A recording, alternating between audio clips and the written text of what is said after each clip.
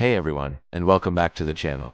Today, we're diving into one of the universe's most mind-bending mysteries, the black hole that blinked. Imagine looking out into space, 590 million light-years away, at a galaxy called Markarian 1018. In 2018, astronomers observed something truly bizarre. Its supermassive black hole, which was previously shining brightly, suddenly dimmed down, and then, just as mysteriously, brightened right back up. Now, this is huge because we usually think of black holes as having pretty steady activity. They are accretion disks. Those swirling saucers of gas and dust are supposed to be pretty consistent. But Markarian 1018 decided to throw us a curveball, flickering like a cosmic light switch. What could cause such an epic blink?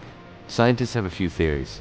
Maybe it was a dramatic, magnetic reconnection event, like giant cosmic short circuits. Or perhaps, it briefly swallowed a star, causing a temporary disruption.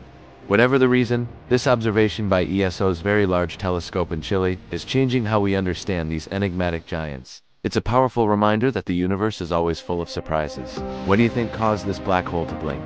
Let me know in the comments below. If you enjoyed this cosmic mystery, please hit that like button, share it with your friends, and don't forget to subscribe for more amazing journeys through space. Thanks for watching.